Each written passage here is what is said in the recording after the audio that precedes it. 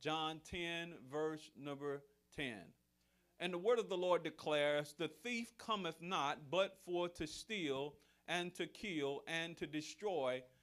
But Jesus says, I am come that they might have life and that they might have it more abundantly. We've been sharing with you, and we're going to share um, more today about this confidence, but we began it and bottom line up front that we receive life by accepting Jesus Christ by faith. Life more abundantly is living life in the confident zone. It's next level living. Next level living is to crown him as Lord, not for him to just be Savior of your life, but he wants to be Lord. And to trust him as Lord is to trust him for our deliverance, our development, and our direction. God wants to save us, but he also wants to sanctify us, and he wants to be sovereign over our lives. John 10, verse number 10 in the um, uh, New Living Translation, I believe, or the CEV version, one of those versions. I didn't write it down here, but it says, The thief enters only to steal, to kill, and to destroy. I came so that they could have life, indeed, so that they could live life to the fullest. God wants us to live life to the fullest. He don't want us to just be surviving. He wants us to thrive we ought to uh, thrive living the abundant life. And really, living life to the fullest right now is really just staying healthy and staying safe and enjoying time with our family and trusting the Lord in the midst of this crisis. That's the most we can do right now. We got to do it to the fullest.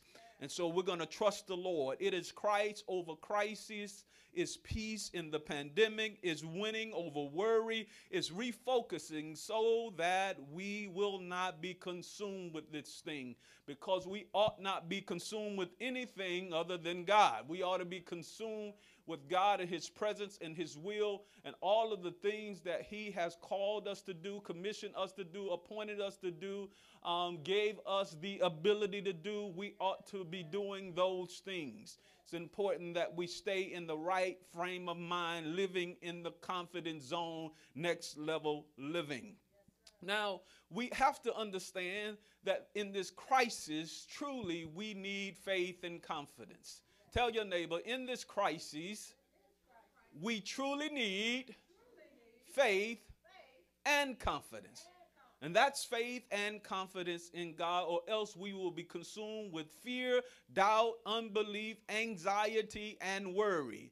But Jesus, He is the answer to all life ills.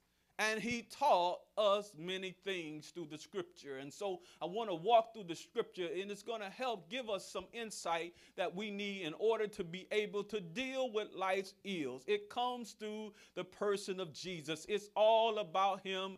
He is the base and the boundary, the center and the circumference, the sum and the substance of what life is all about. As our bishop used to say, it's all about Him. And so it's all about Jesus, and He taught us many, many things, many of which had to deal with faith. And the reason why Jesus spent so much time dealing and teaching on faith because God requires it of us. In fact, we cannot please God without faith. You cannot please God without faith. So faith is required of God. The Bible says the just shall live by faith. We walk by faith and not by sight. We move from faith to faith. In fact, the righteousness of God is revealed from faith to faith. Every time we operate in faith, we reveal God's righteousness to somebody. They see God's righteousness through our exercise in our faith. Abraham, he believed God and it was counted as righteousness unto him. And so our faith, when it moves, when people can see it, it reveals God's righteousness. It also reveals your righteousness in God. Praise the name of Jesus. And so we thank God that we move from faith to faith into the realm of confidence where we're not just believing, where we know, where we know. And there's some things we ought to get to a place to where we know. Not that we know all things, not that we know everything that's going to happen, but we know our God. And we know that our God is able, and we know Him in a way that we know that He's going to take care of us. And so it's not just believing that He's going to take care of, but I know He's going to take care of us because He's our loving, caring, sharing Heavenly Father. And so we live life in the confident zone. Now, the particular lesson that Jesus taught is directly relevant to us to the times we're facing currently. And there are many nuances in this text to speak to us in our present our present circumstances. Let's go to Mark the 4th chapter and we're going to spend the rest of our time in this pericope. Mark the 4th chapter verse number 35. We're going to spend the rest of our time just dealing with these six or so passages of scripture.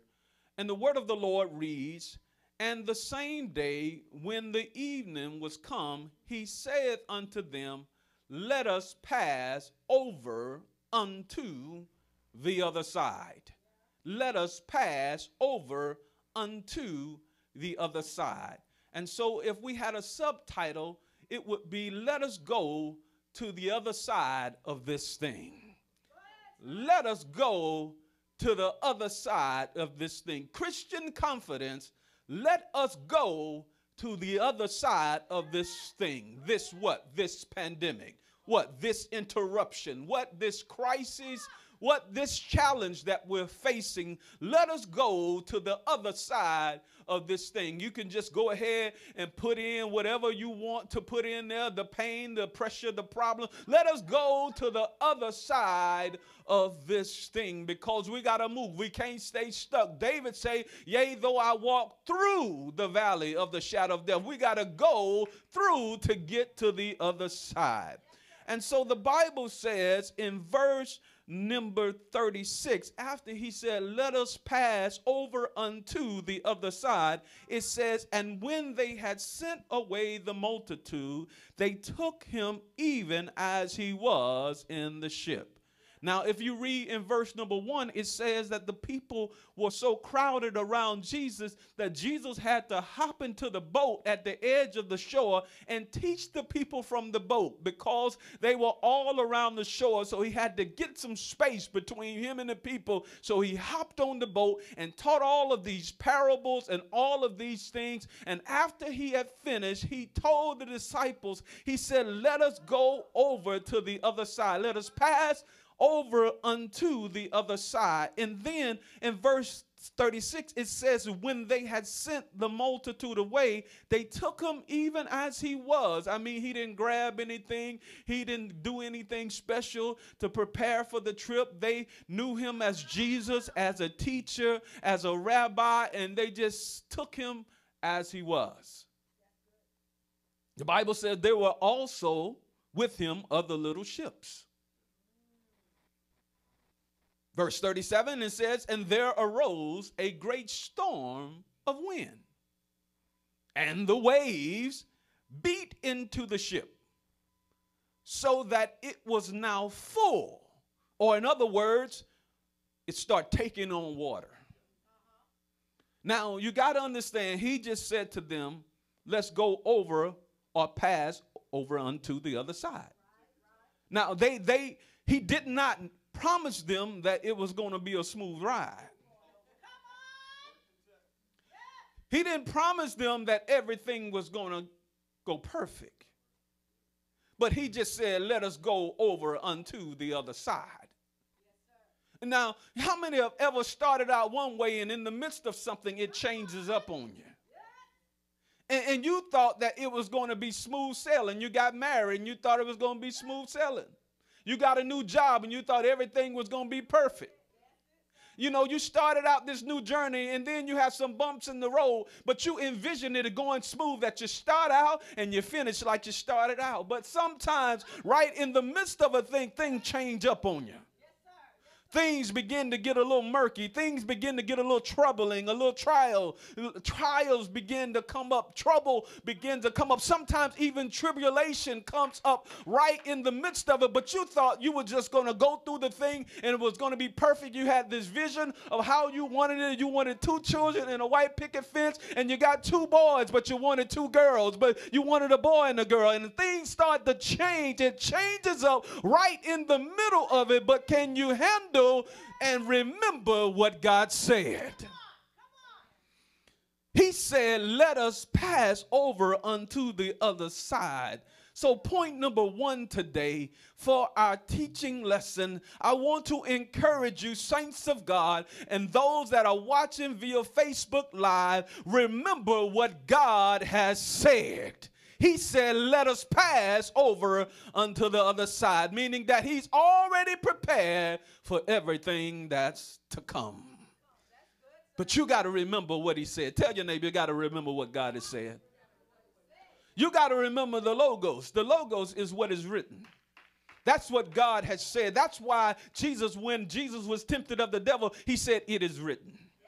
He, he declared what is written. He declared the logos. Now, the logos is what God has said, and we ought to know the word. And when we know the word, we can find comfort and strength in the word of God because we can look in the Bible and find out what God has already said what he said about you, what he said about your future. He said, beloved I, beloved, I wish above all things that you would prosper and be in health, even as your soul prospers.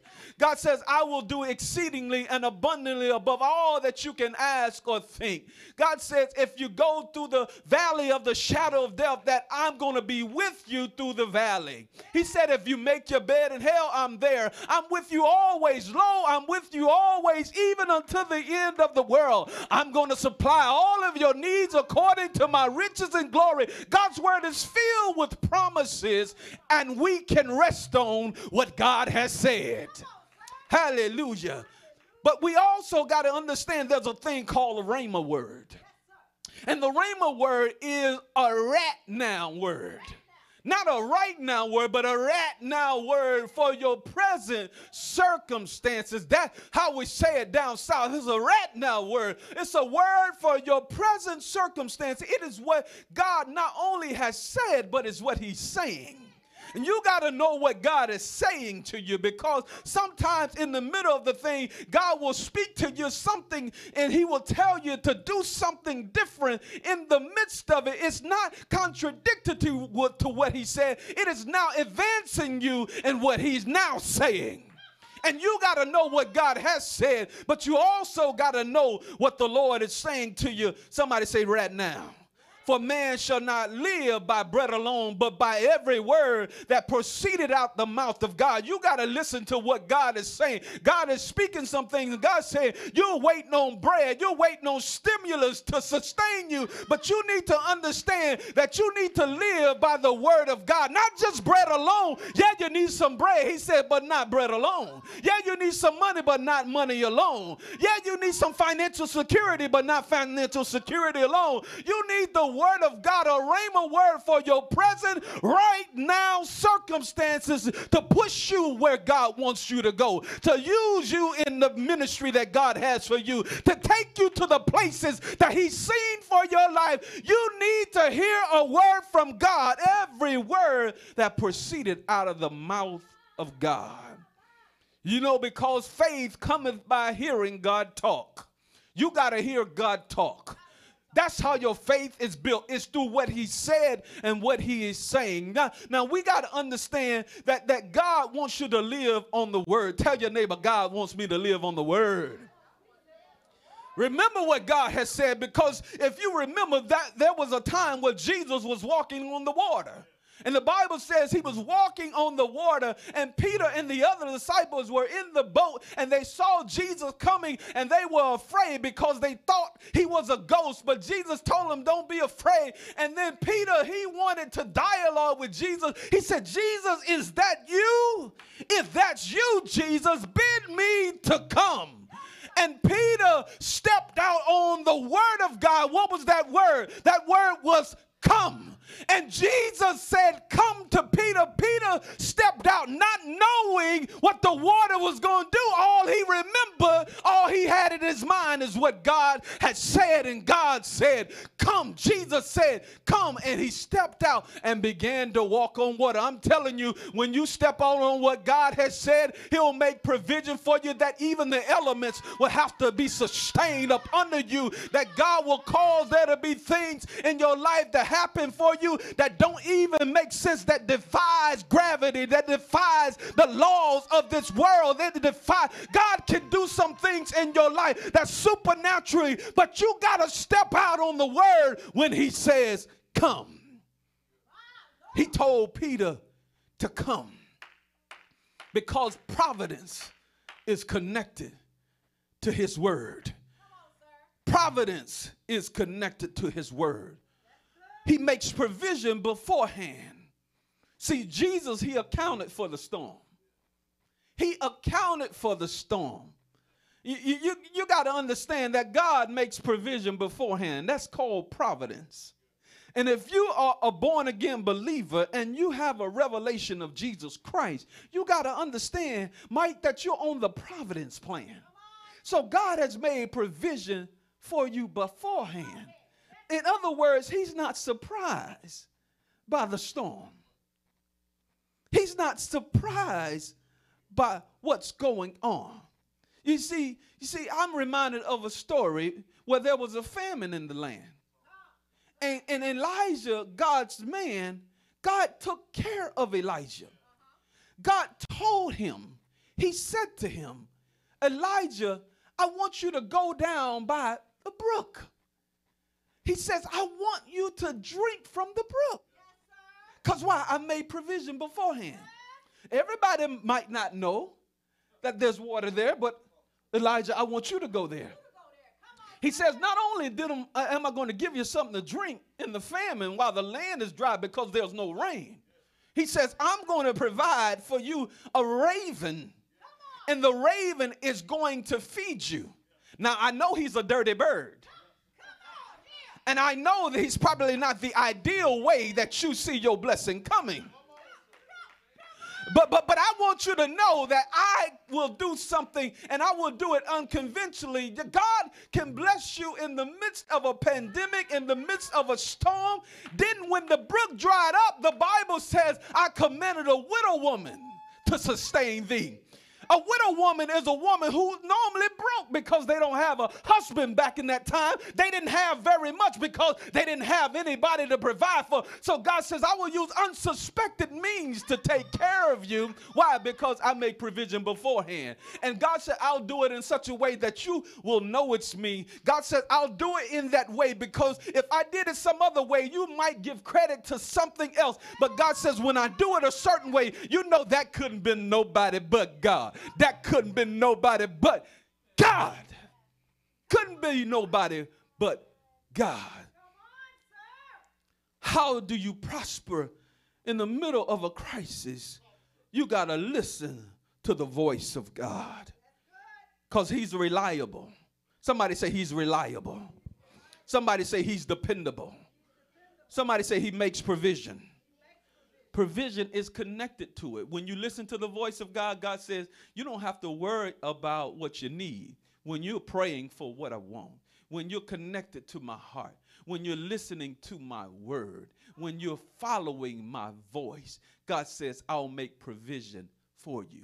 It's important to understand this in the midst of a storm, in the midst of a crisis, because I declare and I prophesy to you and those who are listening who will receive this word by faith that you're coming out of this thing better than how you came into this thing if you would listen to the voice of our God. I'm already starting to see it in my own life. God is showing me things and doing things that I didn't even expect. I didn't anticipate. I did not plan for it. If I could have planned it, I wouldn't even planned it this good. But it's right in the midst of the crisis. God is blessing in so many different ways. He's blessing physically, He's blessing emotionally, He's blessing financially. And they said everything is supposed to be down, but God has made it so where things are up when things supposed to be down.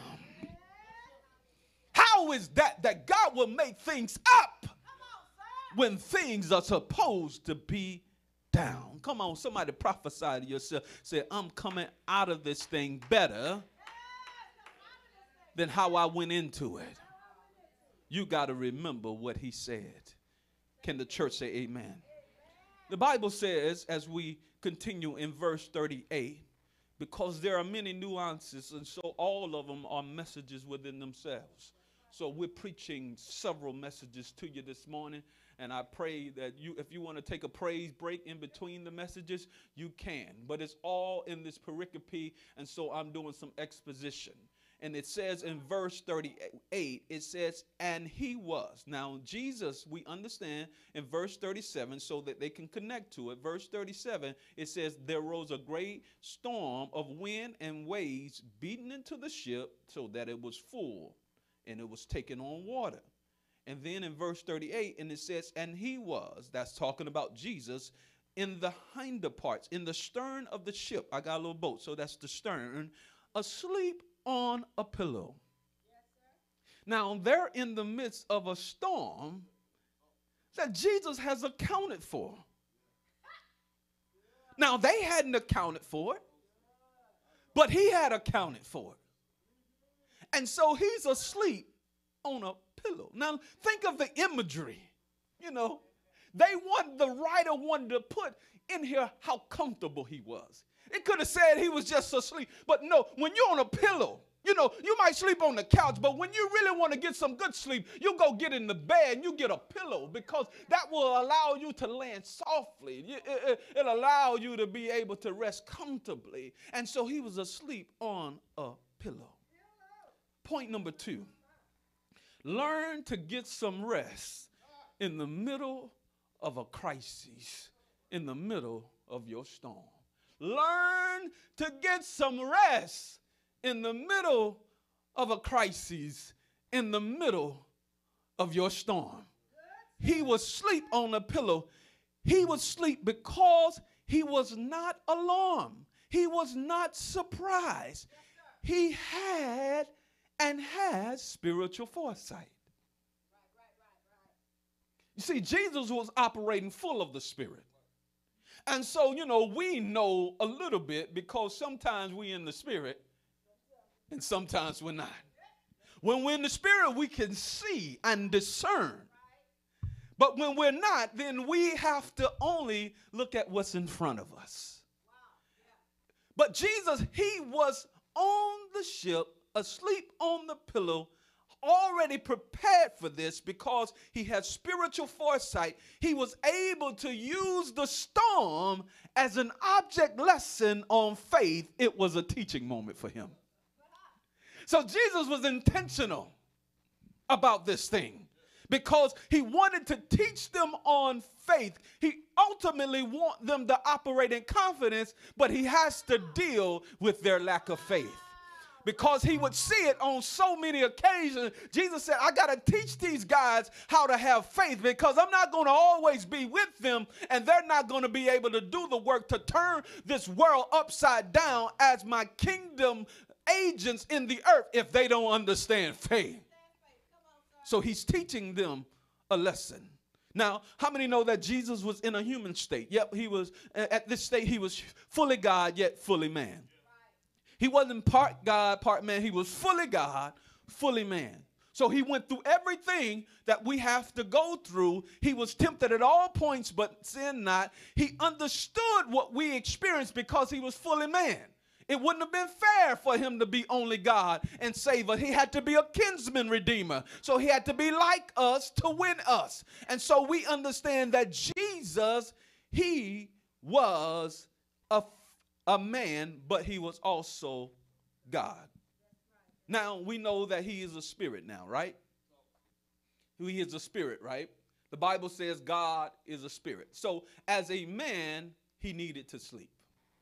Y'all don't mind me taking my time and slowing down. I might not get through the points, but I don't want to rush through them and, and, and, and slight you.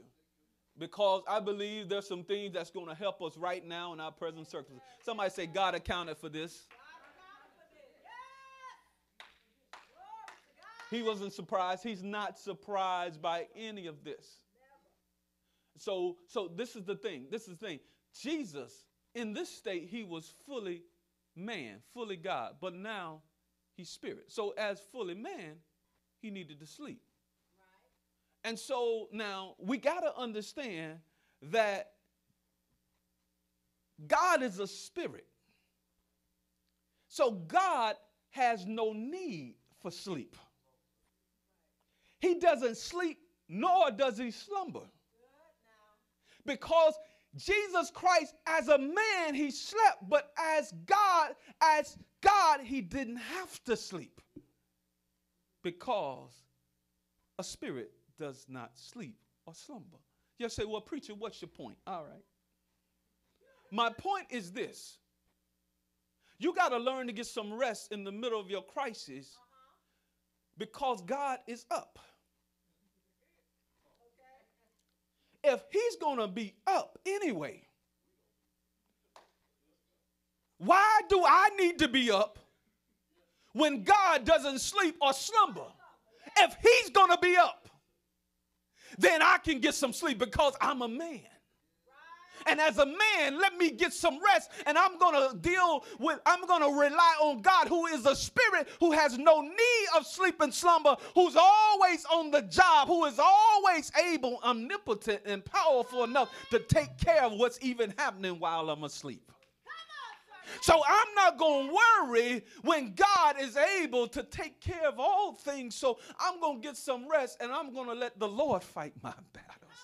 Even in my sleep, God will give his angels charge over me. So if God is up, I'm going to let him be up. And the Bible declares that we ought to be anxious for nothing, but everything by prayer and supplication with thanksgiving. Let our requests be made known unto God, and the peace of God, which surpasses all understanding, shall rule our hearts and minds in Christ Jesus. All you got to do is pray about it and then go to sleep. Pray about it and sit yourself down somewhere. Take your mind off it. If you're going to give it to Jesus, how you going to figure out what only God can work out? It's, it's counterproductive to give something to God and then take it back. To give something to God and have a thought and snatch it back. You got to give it to God and the thought comes and then you leave it with God. You say, God, I don't understand it. God, I'm tempted to grab it, but I know that you are a load bearer and a heavy burden sharer and that thing will break me down. But I know that your arms are not short. I know that you are strong and mighty. I know you that you're a God of war. I know that you fight on my behalf. God is fighting for us, pushing back the darkness, lighting up the kingdom. We got to understand that God's got your back. So you need to get some rest and stop walking around acting like you about to lose your mind in the midst of the crisis. Do you serve God or not?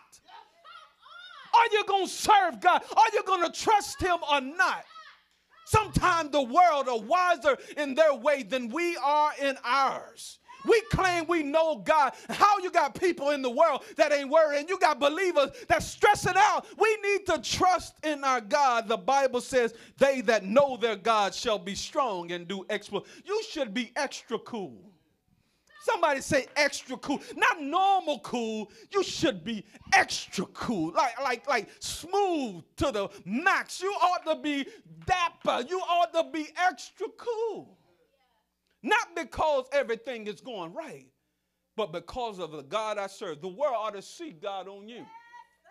The Bible said, Let your light so shine before me that they see your good works and glorify your Father which is in heaven. You ought to be extra cool. Peace in this pandemic. Christ over Christ and winning over worry. Refocusing so that this thing does not consume you. Can the church say amen? Will y'all give me a few more minutes? We're not going to get to all five, but I'm going to give you at least one more. Can you take one more? Just at least one more. We we go to the scripture and it says here, verse 38b. It says he was asleep on a pillow. In verse 38b, it says, And they awake him. And they say unto him, Master, which means rabbi, which means teacher. Like you our leader, don't you care about us? You don't care that we're getting ready to perish? You don't care that we're getting ready to perish?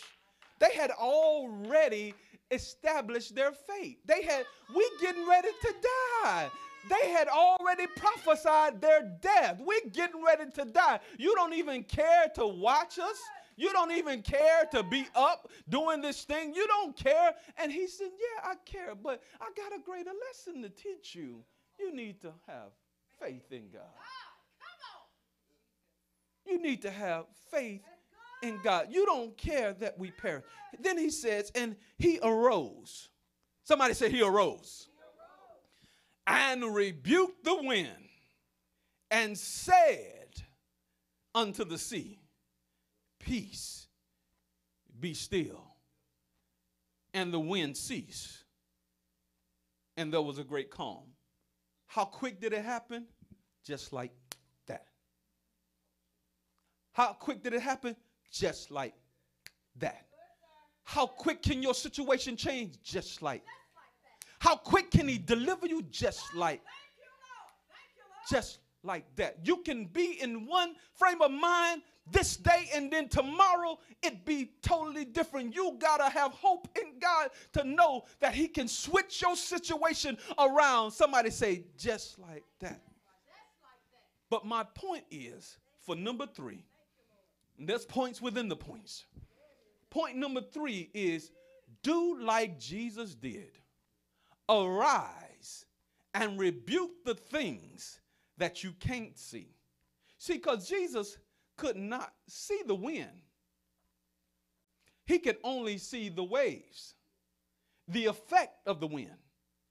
He could only see the water, the, the effect of the wind. Uh-huh. He rebuked the things that you couldn't see, mm-hmm. and he spoke to the things that were visible.